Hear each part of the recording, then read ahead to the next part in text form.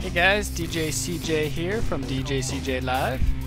I have had a couple friends ask me on how to use XSplit and how to make the settings correct so that you know they're not dropping frames. So I am going to show you my own settings here so that you can basically replicate what I'm doing. Uh, first off, I'm going to show you my window here. This is how you add scene sources. Basically, go to add, then go to add screen region, and this is going to be your main screen. So click anywhere on the desktop now, and I'm going to actually remove my other one. So this is the one I just added right here. You can move this around the XSplit screen. So move it up into the corner, stretch it out, and then you can set which layer level it's on, like that. So for pretty much every game, I just use the uh, desktop screen region like that. You can also add images. And when you're streaming, you just click the checkboxes off and on as you need them. You can also set up uh, scenes here for specific things to show if you want to have presets. Uh, there's two buttons right here, microphone and speaker. You can mute both of those. Just keep the volumes at max. Next, you'll want to have your resolution set up. Go to File, Resolution, Edit Resolutions, and pick all the resolutions you think you might use just so you can switch to them quick. Only pick 16:9 ratios though. Those are the only ratios that will work with Twitch TV. So I have currently the 1280 by 720, which is the 720p video standard. I definitely recommend using this one.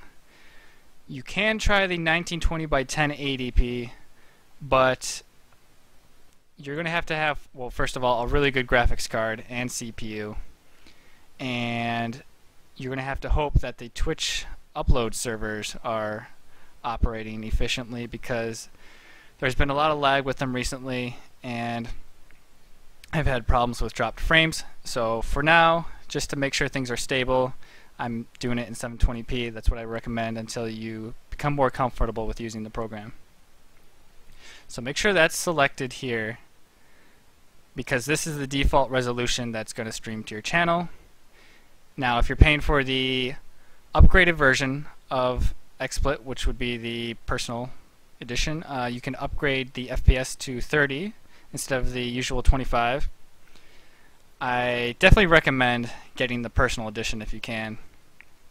I think it's what 15 bucks for three months, and having the additional 5 FPS will make movements in game, such as when you're turning and looking at things, it'll make it look a lot more smooth and less grainy than if it was 25.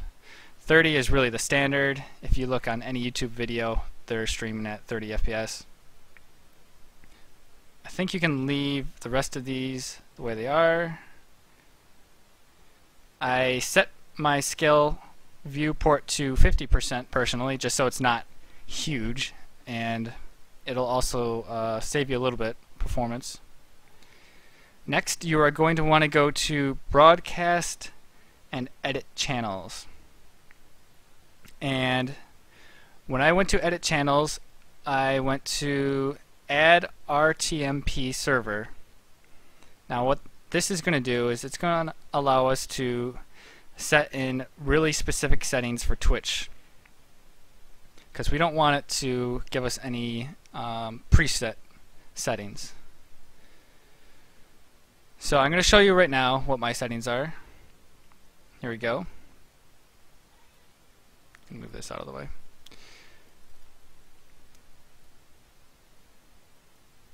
I don't know if you can see this. Should I zoom in? Okay. So you got your name of the channel at the top. Next field you want is the RTMP URL. What this is is the specific Twitch server that you are uploading to. This is uh, the name for it. It's technically the Virginia secondary server. And there's a tool you're going to want to use to figure out which server is best for you. It's called Ingest Ranker. So to download Ingest Ranker, go to this address. I'm going to put it in the description also so you can click on it more easily. And what Ingest Ranker does is it tells you not only the closest server, but the one that's going to be fastest for you. So for me, the number one was New York, but it turns out I was having really big problems using the New York server. So it was recommended to me by a mod on the uh, Twitch support forums that I actually never use the New York one. Apparently, it's one of the most congested ones there are when it's prime time, basically between 9 p.m. and 11 p.m. Eastern in the New York, New York area. So that's why I'm going to Virginia secondary right now. And if you don't know the, I guess, addresses for the different servers, you can search Twitch RTMP servers. This is the server listings for the RTMP servers that your computer will be streaming to when you are live. So that ingest ranker program I showed you is going to rank these based on uh, your location and connection. So my first recommendation was to use the New York location, JFK. Don't use that server if it's recommending it to you. Um, the server has been really slow. All last week during prime time, I was getting between 1.5 and 1.7 megabit upload to that server. Terrible, terrible.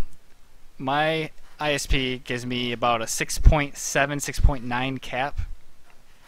So on the forums, it was recommended to me by a moderator to use a secondary server or even a third from that list. So right now I'm using Ashburn, Virginia. I've also heard about people from the Midwest even using the Texas one. Is there a Texas one here? They said they were using the San Antonio one. So don't use a New York one. If you have problems, try another. I will put this list in the description also. Okay, moving on.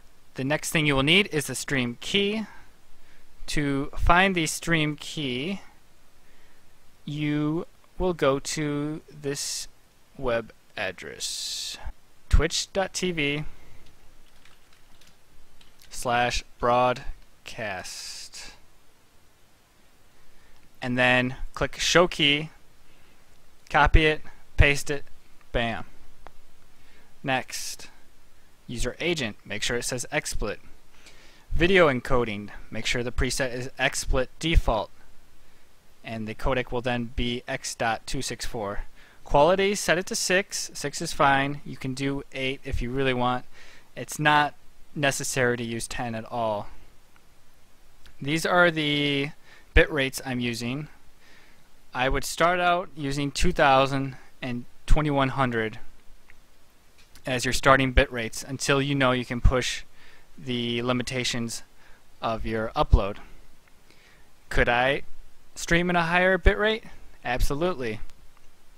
It was recommended to me by Towelie at twitch.tv slash Towelie to use these and I'm continuing to use them only because I've had upload problems to Twitch. So as the you know time goes, I might up that a little bit. Might go to 2600, 2700 once I know the connection's stable. I think Towelie is even uploading around 3200, maybe 3400, and that's when he's doing 1080p. So, okay, next, make sure the resolution is at default stage. Audio encoding, if you have the upgraded version of XSplit to Personal Edition, Make sure you're using the AAC-LC codec at 44.100 kilohertz, 16-bit stereo, and set the bitrate to 128. If you want to push the limitations again, you can set it to 192. Make sure these checkboxes are not checked. You can't see because of my camera.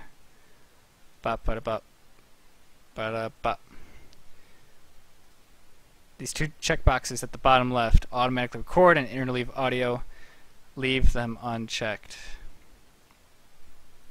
So once you've got all that set up, you, I believe, are pretty much ready to go.